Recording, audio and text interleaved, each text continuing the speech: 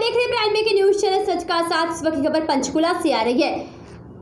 बिना परीक्षाओं छात्र को प्रमोट कर छह महीने की फ़ीस माफ़ को लेकर दीपांशु वांसर और एक दिवसीय भूख हड़ताल पर बैठे।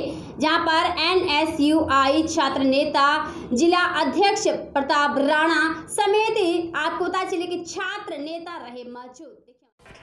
कोरोना महामारी के चलते पूरे देश भर में कांग्रेस पार्टी और छात्र इकाई एनएसयूआई द्वारा speak up for students health campaign के अंतर्गत नीट जेईई की परीक्षाओं को स्थगित करने, छह महीनों को फ़ीस माफ़ करने और कोविड के चलते किसी भी प्रकार की परीक्षाएँ न करवाकर छात्रों को बिना परीक्षाओं के ही प्रमोट करने की मांग को लेकर एनएसयूआई आरटीआई, सेल के राष्ट्रीय कन्वीनर और प्रदेश सचिव जिला पंचकुला प्रभारी दीपांशु बंसल के नेतृत्व में जिला अध्यक्ष प्रताप राणा, विजित कटारिया, सजल नीलेश राठी, सचिन प्रवीण दीमान प्रिंस वेद लबाना अंकित नीरज प्रताप कमल गौरव समेत छात्र नेताओं ने एक दिवसीय भूख हड़ताल के माध्यम से सेक्टर पाँच पंचकुला स्थित धनस्थल में छात्र हितों में मांग उठाई। आपका नाम जी? मेरा नाम दीपांशु बंसल है और मैं एन में राष्ट्रीय कन्वीनर हूँ आर टी का। दीपांशु जी आज ये प्रदर्शन कर रहे हैं शांति के साथ आप? क्या, किस मैटर को लेकर है? देखिए, आज पूरा देश कोरोना से जंग लड़ रहा है और इसी बीच केंद्र सरकार छात्रों को परीक्षा केंद्रों में भेजकर मौत के कुएँ में डालने का काम कर रही है। आज एन ने भारतीय राष्ट्रीय कांग्रेस के साथ मिलकर पूरे देश भर के अंदर एक दिवसीय भूख हड़ताल के माध्यम से तीन मांगों को उठाने का काम किया है।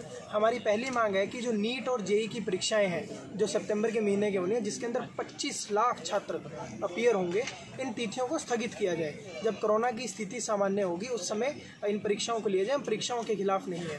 दूसरी बात है कि छः महीने की फ़ीस को माफ़ किया जाए क्योंकि कोरोना के चलते पूरा देश आर्थिक संकट से जूझ रहा है और ऐसे में अभिभावकों पर फ़ीस का आर्थिक बोझ डालकर डालना किसी हद तक सही नहीं है। और हमारी तीसरी मांग है कि कोरोना महामारी के चलते जो हरियाणा प्रदेश के अंदर किसी भी प्रकार की कोई भी परीक्षाएँ ना ली जाए क्योंकि परीक्षा केंद्रों में भेजना छात्रों की सेहत से खिलवाड़ है। सरकार आपके आपको मांगे नहीं मानती तो क्या कार्रवाई आपकी होगी? देखिए आज मुख्यमंत्री जी और विधानसभा अध्यक्ष खुद कोरोना पॉजिटिव है, उनको खुद ये चीज़ समझनी चाहिए कि कोरोना इतने तामझाम होने के बाद, सुख सुविधा होने के बाद वो कोरोना पॉजिटिव है, उनको समस्याओं का सामना करना पड़ रहा है। जब छात्र परीक्षा केंद्रों में जाएँगे तो उनको कितनी समस्याओं का सामना करना पड़ेगा?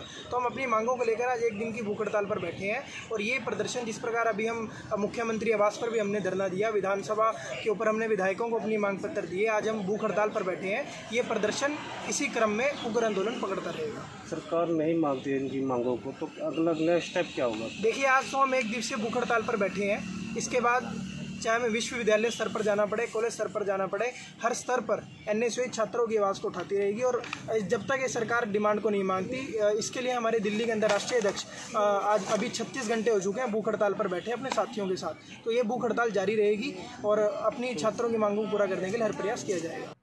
लेटेस्ट न्यूज़ देखने के लिए प्राइम ब्रेकिंग न्यूज़ चैनल को सब्सक्राइब करना ना भूलें और साथ ही डेली अपडेट्स पाने के लिए बेल आइकन